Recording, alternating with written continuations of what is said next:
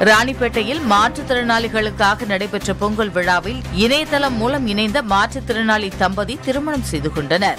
இதனை மாவட்ட ஆட்சியர் பாஸ்கர பாண்டியன் திருமாங்கல்யத்தை கொடுத்து திருமணத்தை நடத்தி வைத்தார்.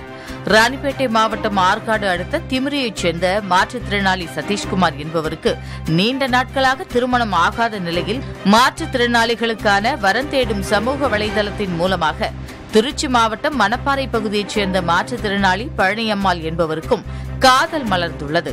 இந்நிலையில் ராணிப்பேட்டை மாவட்ட ஆட்சியர் தலைமையில் நடைபெற்ற பொங்கல் விழாவில் இவர்களது திருமணம் நடைபெற்றது.